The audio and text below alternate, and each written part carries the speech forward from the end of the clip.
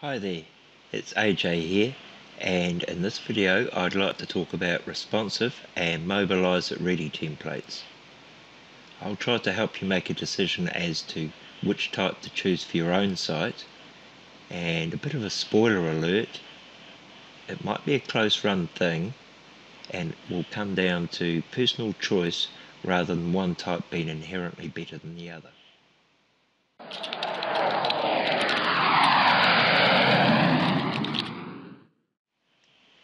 So let's start with responsive templates.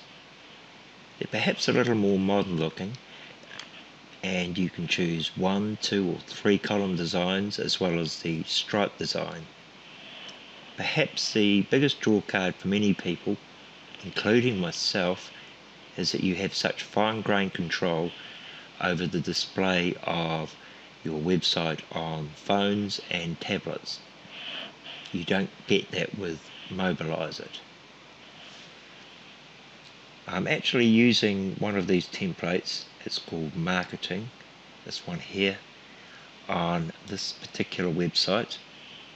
And if I just minimize the screen so you can see how it would look on a phone, it displays perfectly, it looks nice, and we've got that very nice um, slide across navigation.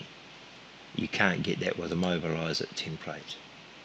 However, if we look at Mobilize It designs, it has one big advantage, and that is how easy it is to implement it. Two minutes perhaps, and that's it. You don't have to fluff around with setting up different uh, designs and layouts for different screen sizes.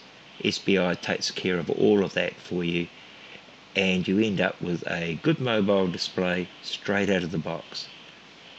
So if you don't want to get your hands dirty with doing design work and you just want to get on with other things like creating more content, then Mobilize It might be just the thing for you.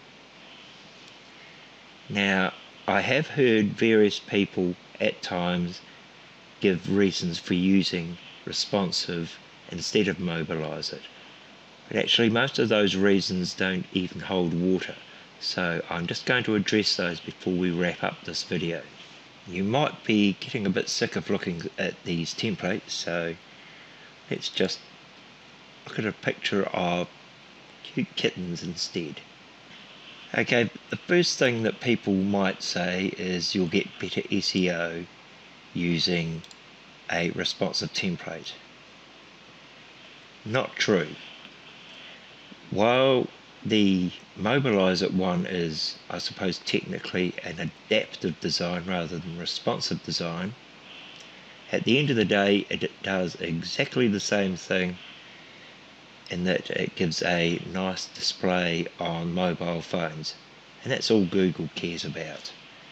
So if I just pop back quickly and we have a look at this you can see where I've set up a mobilize it template on my block builder. And Google has said the page is mobile friendly. It's given it the stamp of approval. So don't let that put you off. You're not going to get any sort of penalty from using a mobilize it design. The next thing I've heard mentioned is Windows Phone Display and Mobilize It templates don't work on Windows phones. That's really a non-issue. There's so few of those around today that it really doesn't matter. The latest stat that I saw, which I think was for last year, the market share of Windows phones was 0.15%. That's one and a half people per thousand visitors and that's only going to get lower as time goes by. So I wouldn't even give that any consideration. The next thing is you need a phone to check the display. That's true as well.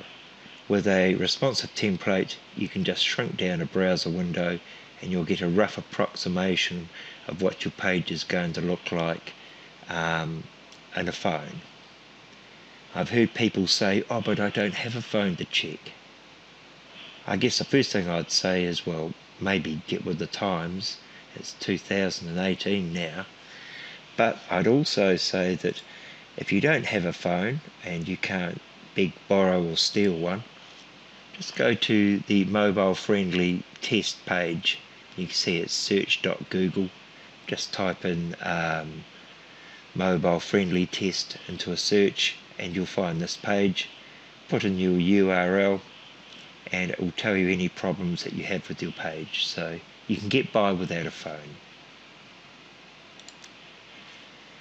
And the final thing that I'm going to address is these two questions here. You have your footer in the middle of a page and also the side columns are below it. I guess there's a point to be made with that because the word footer does imply that it should be at the foot of the page and it's not. However, there is a way to have a single column with um, mobilize it and you can also have the footer at the bottom of the page. On a phone you can see that it's all resized nicely. If I click on the navigation that takes me to the bottom where my menu is and the footer is right at the bottom of the page. So we'll do a video on that. But for now, I think that just about covers it. It comes down to do you want to have that fine grained control over your look and feel, or would you rather just set and forget and get on with other things?